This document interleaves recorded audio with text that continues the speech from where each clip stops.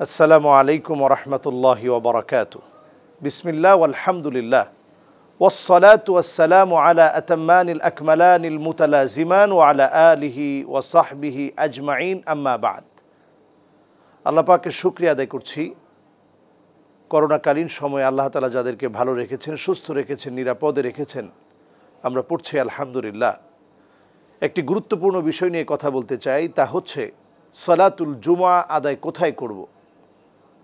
আমরা যারা মসজিদ নির্মাণ করি, নিঃসন্দেহে মসজিদ নির্মাণ করা এত সবের কাজ, মান বানা আলিল্লাহি মসজিদান বানাল্লাহুলাহু বাইতান ফিল জান্না আল্লাহ রাব্বুল আলমিন যে লোকটা মসজিদ নির্মাণ করবে, তার জন্য আল্লাহ পাক আল্লাহর জান্নাতে বাড়ি নির্মাণ করবে। শুধু তাই না, ওমান আদলামু মিম্মা মানা মাসাজিদ আল্লাহ তার চেয়েতে বড় জালেম কে হতে পারে? যে আল্লাহর ঘরে নামাজ আদায়রত মুসল্লিদেরকে বাধা দিবে। সুতরাং আমরা যারা সলাতুল জুমা আদায় করতে চাই, একটু দূর থেকে পায়ে হেঁটে আসলে নিঃসন্দেহে এটা সবের কাজ হবে। কিন্তু আমরা দেখি দেশগ্রামে বিভিন্ন প্রত্যন্ত অঞ্চলে, পাড়া মহল্লায় অনেক সময় একাধিক মসজিদ হওয়া নিয়ে বিভিন্ন ঝামেলার সৃষ্টি হয়। অনেকে মসজিদে বাধা দিয়ে থাকে যে, এই মসজিদে কেউ যাবেন না, এখানে সলাতুল জুমা আদায় করা যাবে না। আসুন আমরা জেনে নেই সলাতুল জুমা আদায় করার জন্য কি কি শর্তের প্রয়োজন রয়েছে। এক নম্বরে, জায়গাটা ওয়াকফ করা হতে হবে। এখন ওয়াকফ বলতে আমরা কি বুঝি? একজন যদি তার জায়গাটা মসজিদের জন্য দান করে দেয়, এটাও কিন্তু ওয়াকফ। একজন যদি বলে যে, এই জায়গাটা আমি দিয়ে দিলাম, এখানে আপনারা সবাই এসে নামাজ পড়বেন এটাও কিন্তু ওয়াকফ। কিন্তু আমরা লিখিত আকারে যদি দিয়ে দেওয়া হয়, এটা সবচেয়ে উত্তম হবে। তাহলে প্রথম শর্ত, ওয়াকফটা যদি পুরা হয় তাহলে এই জায়গাতে আমরা নামাজ পড়ার জন্য সুযোগ পেলাম।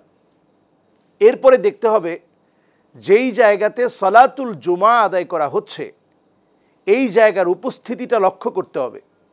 আসার ক্ষেত্রে কাউকে বাধা প্রদান করা যাবে না। রাস্তায় কোনো ধরনের মানুষকে আটকে দেয়া যাবে না। মসজিদে প্রবেশের ক্ষেত্রে নিষেধ করা যাবে না। এই শর্তগুলো যখন আমরা পেয়ে যাব, আসার ক্ষেত্রে কোনো বাধা নাই, উপস্থিতি ঠিক আছে। এই এলাকায়, পাড়া মহল্লায় সলাতুল জুমা আদায় করার জন্য মসজিদের প্রয়োজন।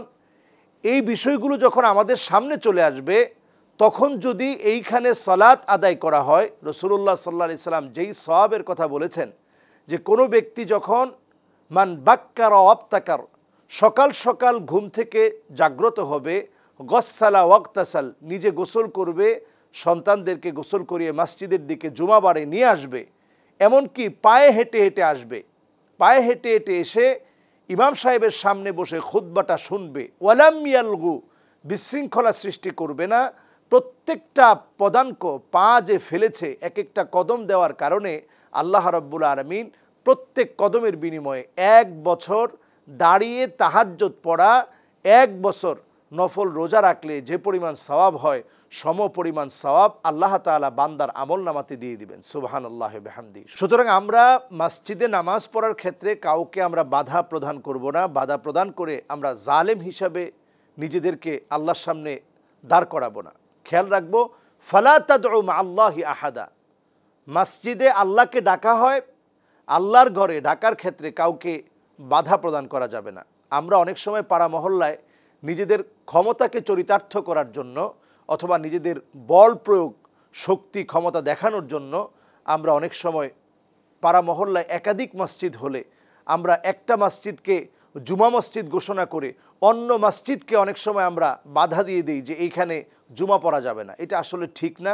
এলাকার প্রয়োজনে যদি এলাকাবাসী কোনো মসজিদ নির্মাণ করে, কাউকে ঢুকতে যদি বাধা না দেয় সেটা যদি অক্ফ করা হয়, এলাকার লোকজন যদি এখানে স্বতঃস্ফূর্ত অংশগ্রহণ করে যদি সলাত আদায় করতে চায়, নিঃসন্দেহে এখানে সলাতুল জুমা আদায় করা যাবে এবং এই আদায় করার ক্ষেত্রে যারা বাধা দিবে, তারা আল্লাহর দরবারে জালেম হিসেবে আখ্যায়িত হবে।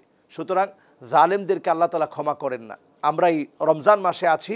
এই সময়ে আমরা একটু নিজেদের হিসাব করি যে আমি কি জুলুম করে ফেলতেছি কিনা। এমনকি জালেমদের জন্য নাবিজি সাফাত পর্যন্ত করবেন না। এই মর্মে কোরআন কারিমে আল্লাহ তালা আয়াত নাজিল করেছেন